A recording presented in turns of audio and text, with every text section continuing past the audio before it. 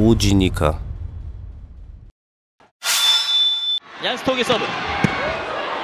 어렵게 받아냈습니다. 띄워놓고. 자 얀스톡의 디그가 있었습니다. 왼쪽 정광인. 3인 블로커. 위협으로 수를 만들어냈습니다. 뒷점 신영석의 속공. 자 서브 신영석입니다. 안쪽에 떨어집니다.